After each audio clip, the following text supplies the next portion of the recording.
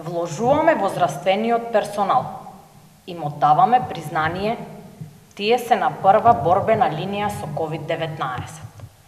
Вложувањата кои владата на СДСМ ги направи во здравството, овозможија успешно да се справуваме со најголемата светска здравствена криза во изминатите децении. Со оваа криза стана уште повидливо дека здравството е еден од основните обштествени столбови. Продолжуваме да вложуваме во одржлив здравствен систем.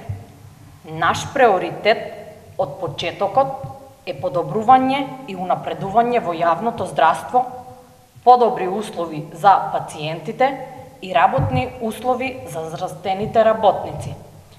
Инвестиравме во здравствениот персонал.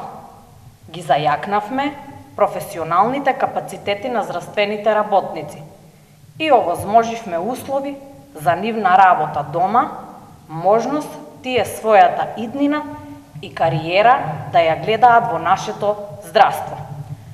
Вработените во здравството, кои се во првите борбени редови во битката со COVID-19, ќе добијат награда од 20% од основната плата за два месеци Наградени ќе бидат сите здравствени и нездравствени работници, вклучени во работата со пациенти заболени од коронавирусот.